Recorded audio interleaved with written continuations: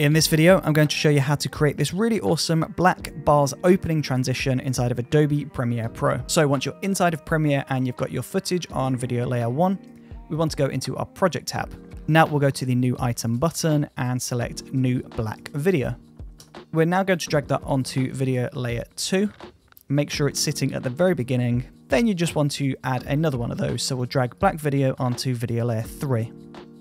Now select both of those black videos go to the Effects tab and search for Crop. Drop that onto both of those black videos, and then we'll go over three frames just to delay the start of this animation. You just want to turn off video layer 3, so we're just focusing on the bottom layer. We'll go to the top and change that to 50%. Then create a new keyframe on top.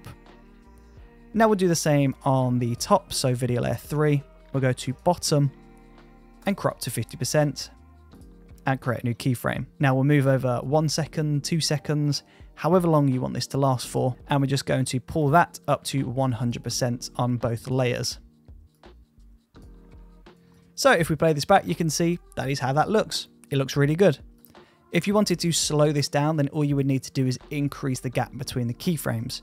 However, if you see what I just did, I only changed it on one, which means it's going to reach there later than the first one. So I would recommend moving across, finding a point that you want it to finish, and then moving the keyframe to the cursor, going to the next layer and doing the same.